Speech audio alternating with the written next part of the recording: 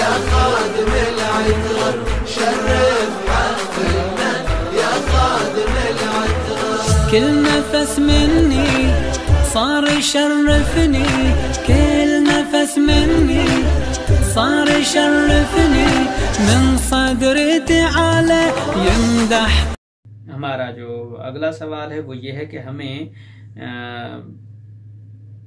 रोज़ा जो है वो कब बंद कर देना चाहिए और कब खोलना है? क्या अहल सुन्नत के साथ उनके वक्त पर हम रोज़ा खोल सकते हैं या नहीं खोल सकते?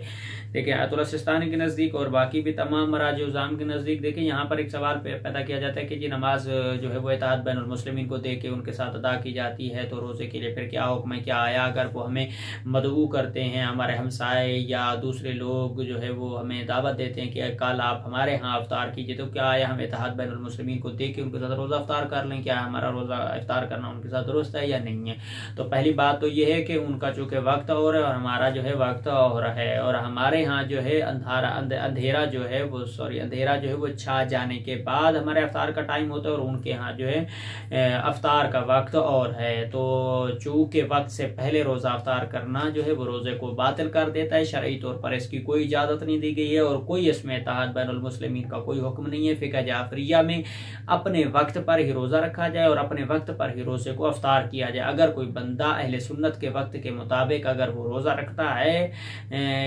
वाइला ये कि वो आपके वक्त के जो आपके फ़िका जाफरिया के मुताबिक कैलेंडर या जो भी टाइम मुन किया गया शरई तौर पर, उस टाइम के पहले अगर ख़त्म हो जाए तो फिर तो कोई हर्ज नहीं। अगर आपके टाइम के ख़त्म हो जाने के बाद फिर उनका बाद में बंद होता है और आप उनके यहाँ सहरी करने गए हुए हैं तो फिर उनके टाइम पे आपका रोज़ा बंद करना वाजिब नहीं है, बल्कि आप अपने टाइम पे जो आपका मुकर्रा फ़िका जाफरिया के मुताबिक जो भी आपको तुलु सुबह तुलु सादक जो भी वक्त मुन करके बताया गया या कैलेंडर में या जो भी अवकात बताए गए रोज़ा के बंद करने के, उसी के ऊपर ही आप अपने रोज़े को जो वो बंद करेंगे और खोलने के लिए भी यही है, इसमें कोई इतिहाद बैन मुस्लिमीन और शरान इसकी कोई इजाज़त नहीं दी गई है कि इतिहाद बैन मुस्लिमीन किया जाए और यहाँ पर वक्त से पहले रोज़ा इफ्तार कर लिया जाए। शरान इसकी कोई इजाज़त नहीं है, ये जो है रोज़ा तोड़ने के। अगर कोई बंदा ऐसा करता है तो वो रोज़े की कज़ा भी करेगा कज़ा भी रखेगा और कफ़ारा भी दोनों अदा करेगा, चूँकि जानबूझ के उसने वक्त से पहले रोज़ा अफ्तार किया है तो वो उसका रोज़ा बातिल होगा और उस जानबूझ के चूँकि उसने किया है तो इस वजह से उसके ऊपर रोज़ा भी, रोज़े की कज़ा रखना भी वाजिब है और उसका कफ़ारा अदा करना भी वाजिब है। तो इसमें कोई इतिहाद बैन मुस्लिमीन नहीं है।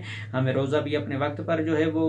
रखना चाहिए और खोलना भी अपने वक्त पर चाहिए और अहल सुन्नत के साथ ना ही हम जो है वो रोज़ा अफ्तार कर सकते हैं और ना ही यहाँ पे इतिहाद बैन मुस्लिमीन को कायम करके उनके साथ रोज़े को जो है वो रख सकते हैं। ठीक है जी? और इसी सवाल के जवाब को हम जो है वो यहीं पे अख्ताम करते हैं। और हम आगे चलते हैं अपने सवाल के